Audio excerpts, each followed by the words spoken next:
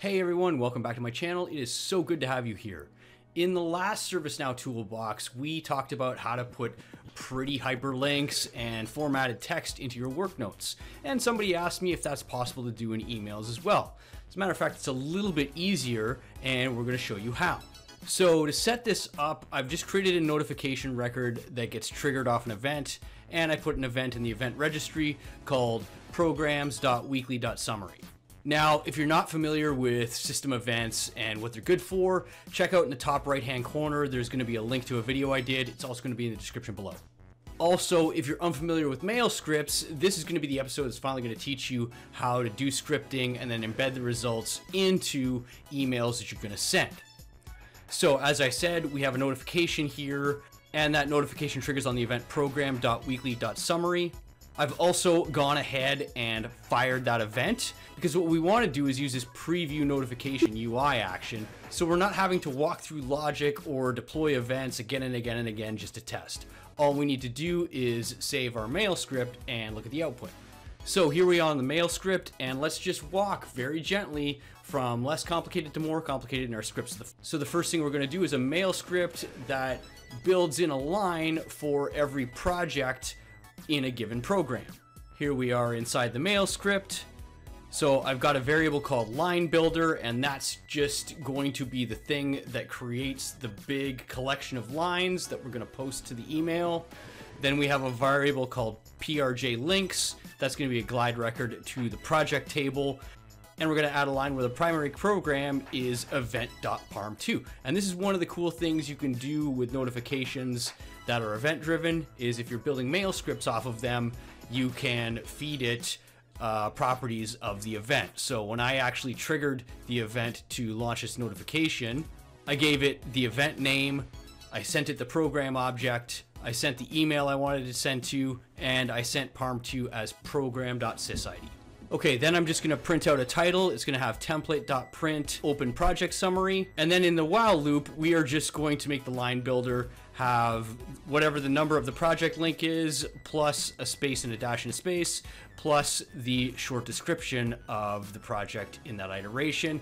And then of course we add a plus slash n to make sure that the next line is put in the line below. We're to template print. That's mail script speak for actually write it down. And let's see what this does. We're to save it. I'm to come back to my notification. I'm to hit preview notification and we're to use an existing event. I'll pick it from the list of events that have been fired and it's got the title and a list of the projects. We should have a slash n on that title because it's just written that project right after it. I'll come back here. I'll add a slash n Save that. And when I rerun the preview, it looks a lot better. Okay, let's start jazzing up the title and doing some text formatting. Here we are at the second iteration of this script, and the only change I've made here is within the template print for the title, we've gone ahead and put some HTML tags in there for the text. So formatting text with HTML within a mail scripts is as easy as adding the HTML codes directly into the template print. You don't have to use that code end code format that you did when you were trying to do this in work notes. So let's save this. I'll go back and preview notification again. And we see that the title is a lot better looking. It's got a uh, header 2 format to it and it's underlined. Exactly as we wanted. Okay, ramp it up the difficulty a little bit. Now we're going to embed hyperlinks for each of those projects. It's not enough that we tell somebody an email, here's a list of projects that are related to this record that we're sending you an email about. Let's embed the hyperlink so that they can go right from email into ServiceNow and see the records in question.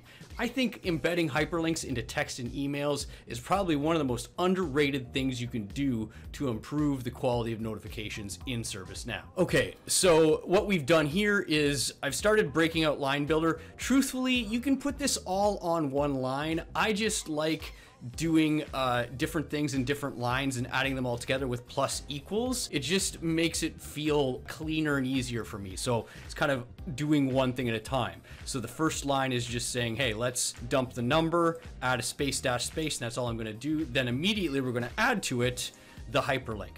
Now, I'm going to spend a little bit more time and break down how I do hyperlinks because it's a little bit tricky when you're looking at all these quotes and double quotes and, and pluses and all this stuff. So let's actually break it down. So let's just imagine, let's just write out a full uh, AH reference as if we were coding in HTML. So let's just go AHREF equals, and I want to send this thing to a relative URL that is the project's direct link. So if I do this, and I know I want uh, like a big long sys I'm just gonna fake it. And then I know I wanna say target equals blank. And then I want the thing to be the short description. I want that link I want the words to be short description and I want the link embedded into it and then slash A.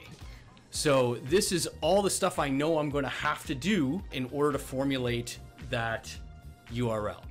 So now what we have to do is break it up because really it's just a chunk of text right now in the code and it's going to render it as HTML. So I know I'm going to have to get this sys from somewhere, right? So let's wrap single quotes and this editor drops double quotes at a time. So I'm, so we've wrapped single quotes around that href. And so it's going to be this block of text plus something. And that something is going to be uh, the project sys ID, right? So let's just give some space for that. Then let's wrap the rest of what we have in single quotes.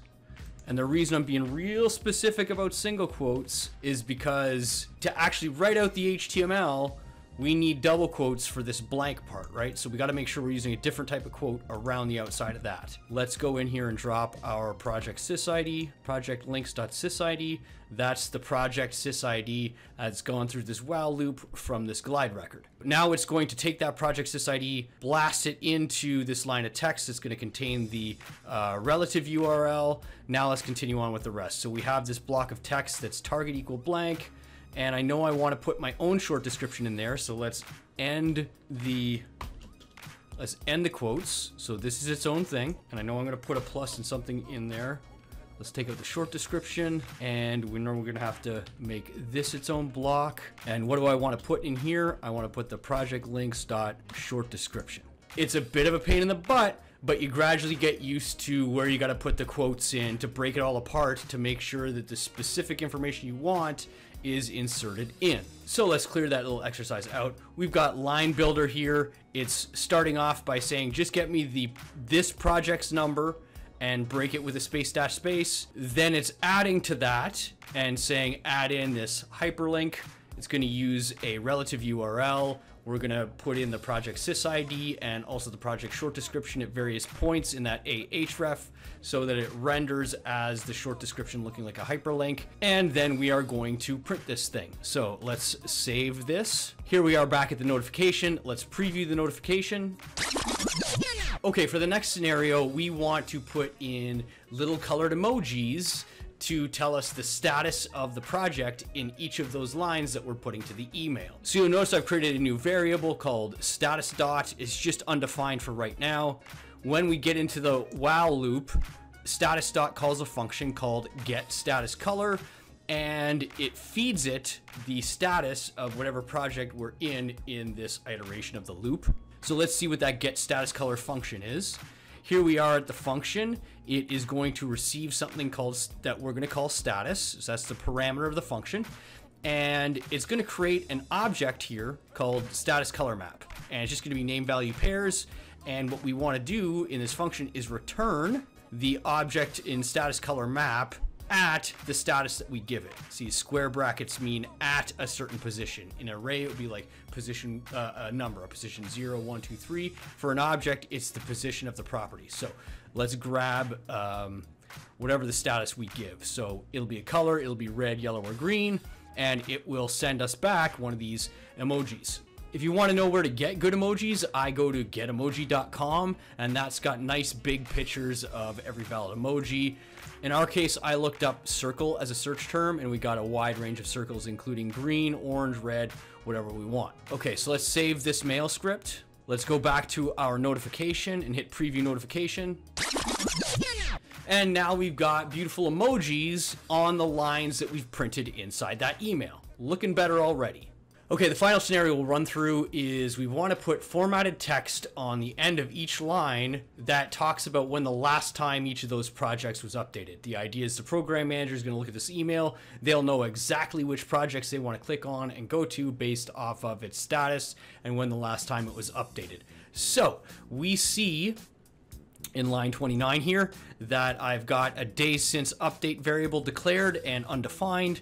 And then once I get into the while loop, it's going to call a function called get days since update, and it's going to feed that function projects.sys updated on, which is the last updated date of the project of the project that we're currently iterating through on this while loop. Okay, let's see what that function does.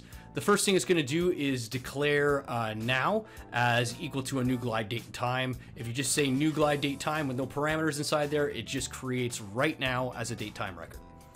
Then, because I'm sending this function an object called last update, I'm never ever quite certain what I'm being passed. So I like to be extra careful about the data type. And so I'm going to force that last updated, even when I'm expecting a date and time, I'm going to force it to be a new glide date and time via this variable called force date time. It's going to be a new glide date time with the parameter of last update, forcing it to be a date time. Then we're going to declare a variable called dur, duration, and it's going to be a glide date time that subtracts force date time from now. Then what we're going to do is declare a variable called days part, and that's going to be duration dot get day part. So I'm expecting something that is expressed in days highly encourage you guys to check out the glide date time API documentation on developer.servicenow.com or on docs if you can find it. Um, I'll have links in the description below, but there's all kinds of goodies in there, some of which I've only uh, learned about in the past few days.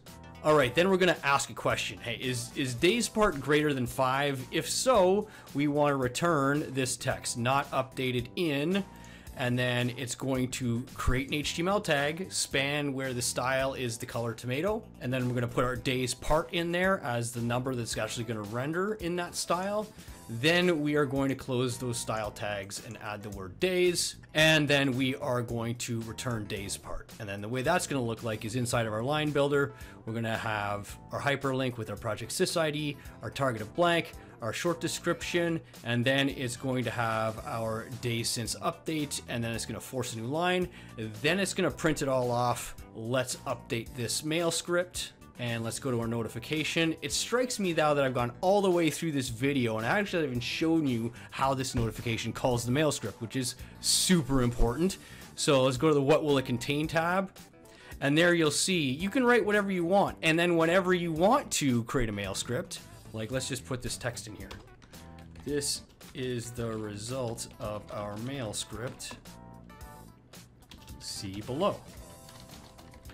So I'm going to have that text, and you call mail scripts by going dollar sign mail underscore script colon, and then whatever the name of your mail script is. In our case, it's project status links.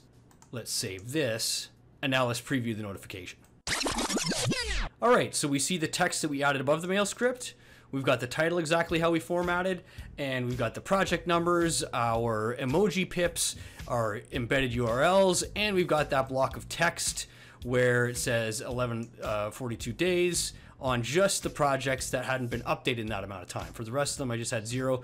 Probably could have designed text better than that, but you get the idea. And there you have it, folks. The same thing we did in the last video where we beautified our work notes a little bit can be done in emails. And this is really, really, really handy if you're sending emails that have kind of a collection of records in them. And this happens all the time in SPM. Here's all the risks, issues, decisions, actions you might want to deal with. Here's all the projects, uh, tasks within your project that you might want to deal with. Here's all the projects in your program that you might want to deal with. So I find this invaluable. Hope you learned a thing or two in this as well, and we will see you on the next one.